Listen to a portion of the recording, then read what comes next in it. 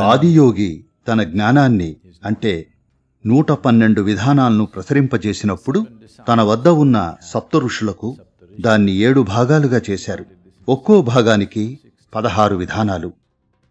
వారిలో ఒక్కొక్కరు ఆత్మజ్ఞానాన్ని చేరుకునేందుకు పదహారు విధానాలను నేర్చుకున్నారు. సంప్రదాయంలో ఇది నేర్చుకోవడానికి వాళ్ళకు ఎనభై నాలుగేళ్ళు పట్టింది అంటారు.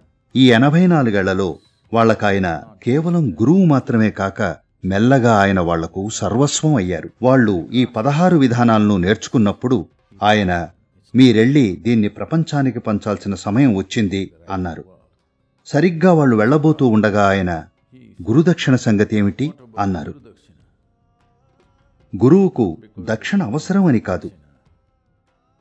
ఒక అమూల్యమైన దాన్ని అర్పిస్తున్న భావన కలవారై వాళ్ళు వెళ్ళాలి అన్నది గురువు కోరిక. ఎందుకంటే సమర్పణాభావంతో ఉన్నప్పుడు మనిషి అత్యుత్తమంగా ఉంటాడు. కాబట్టి ఆదియోగి శివుడు గురుదక్షిణ అడిగాడు. ఈ ఏడుగురు దిగ్భ్రాంతి చెందారు.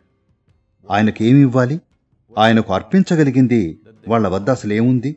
అగస్త్యముని నా దగ్గర ఈ పదహారు అత్యంత అమూల్యమైన ఆణిముత్యాలున్నాయి. మీ దగ్గర నుండి నేను పోగు చేసుకున్న ఈ పదహారు ఆణిముత్యాలు మీకు అర్పిస్తున్నాను అన్నాడు. వీటిని సంపాదించటానికి వాళ్ళు ఎనభై నాలుగేళ్ళపాటు గుండెలు బద్దలయ్యే సాధన చేశారు.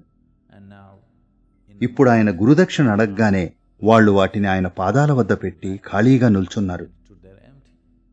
ఆదియోగి వెళ్ళాల్సిన సమయం వచ్చింది అన్నారు. వాళ్ళు వెళ్ళారు ఏమీ లేకుండానే వాళ్ళు వెళ్ళారు ఆయన బోధనలోని అత్యంత గొప్ప అంశం ఇదే. ఖాళీగా వెళ్ళారు కాబట్టి వాళ్ళు ఆయనలా అయ్యారు.